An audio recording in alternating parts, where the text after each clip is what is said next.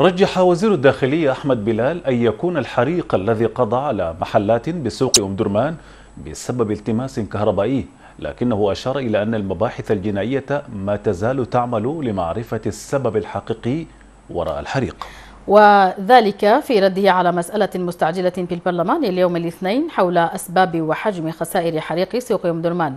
وقال إن النيران تسببت في حرق 262 دكانا و50 طبلية و24 محل عرض خارجي معلنا عن تشكيل لجنة شملت عدة جهات للجلوس مع المتضررين بغية حصر الخسائر الناتجة عن الحريق. وذكر الوزير أن عددا من المشكلات واجهت قوات الدفاع المدني في إطفاء الحريق تمثلت في اكتظاظ المكان بالمحلات العشوائية وضيق المداخل والمخارج الأمر الذي أدى لاستخدام أدوات الإطفاء من مكان بعيد.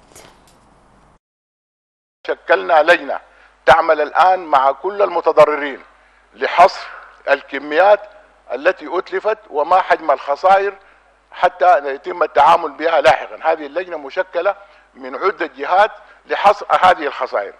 آه نحن نعتقد أن عدم تكرار هذه المسألة مرة أخرى يقتضي بالضرورة إعادة تخطيط آه السوق مرة أخرى بما يتحسب لمسألة الحرائق وبما يترك مجال حتى في حالة النشوب أن تصل المطافي إليها بالسرعة المطلوبة أسباب الحريق نحن في المباحث الجنائية الآن نعمل لكن ما, ما هو المحتمل الآن لربما يكون سبب التماس كهربائي.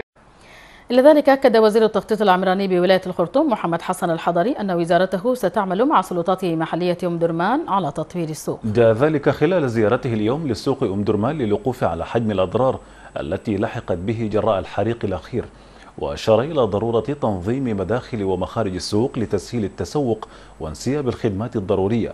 والتقى الوزير خلال الزيارة برئيس الغرفة التجارية حيث استمع إلى شرح مفصل عن حجم الضرر الذي لحق بالتجار وتم الاتفاق على العمل المشترك لاتخاذ تدابير تأمينية لمنع تكرار مثل هذه الحوادث.